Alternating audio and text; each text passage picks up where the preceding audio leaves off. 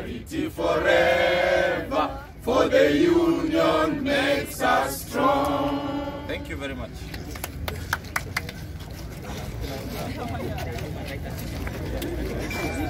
Neighboring counties like Kisii and Kakamega, where the governments take the issues of health seriously, and not in Kisumu. We are also asking members of the public that health is your right. Please come out and force the county government of Kisumu to honor its agreement and pledges with the doctors of Kisumu County. We will not relent.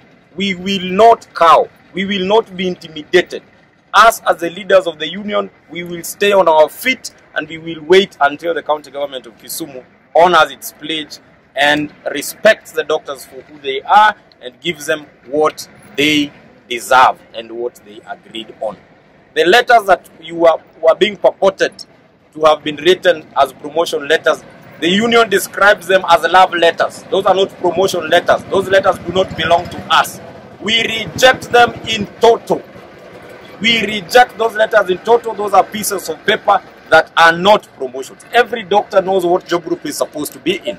The county government knows what job group every doctor is supposed to be in.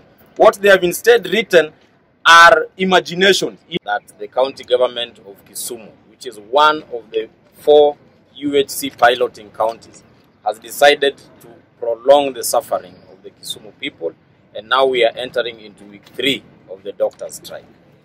We are fully in the strike, and we are affirming that we will continue to paralyze all health services in Kisumu County because the government has decided to be the ones on strike as well. We are just joining them. The doctors took the county government of Kisumu to court. And yesterday, the judge of the labor and industrial courts in Kisumu gave very clear instructions. And the county government of Kisumu pleaded that we allow them more time to implement the CBA by Christmas of this year.